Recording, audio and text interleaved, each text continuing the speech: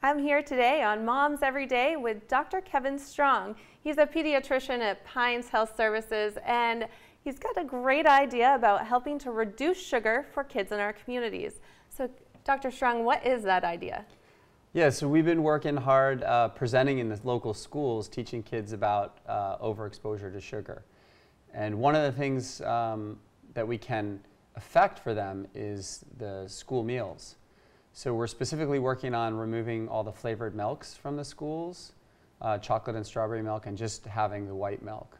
It, it really adds up over the course of the year. For most of these kids, they're consuming anywhere from six to nine pounds of extra sugar per year just from flavored milk.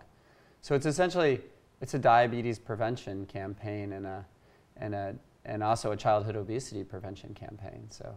So what are some other tips for school lunches that parents can kind of reduce sugar?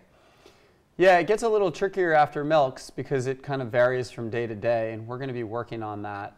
But uh, the cereal choices in the morning is one other sort of discrete variable. You can request the low sugar cereal only for your child.